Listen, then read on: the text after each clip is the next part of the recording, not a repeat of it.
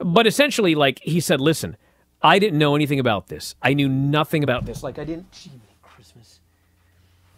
I I, I didn't. Uh, like I thought.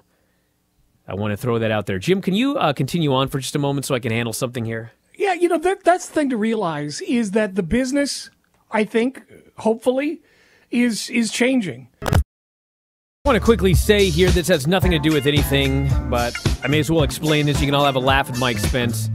We've spent two weeks here. We're in Cannon Beach, Oregon. For those of you wondering why I'm in a, a log cabin, this is where the studio is at here.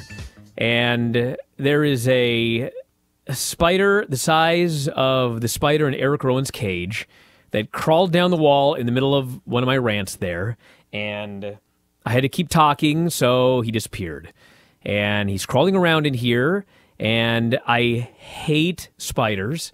This is the last day here. I cannot wait now to pack up and get the hell out of here. But if, if I freak out on air, which I did a second ago because I thought it was on my toe, so I want to apologize.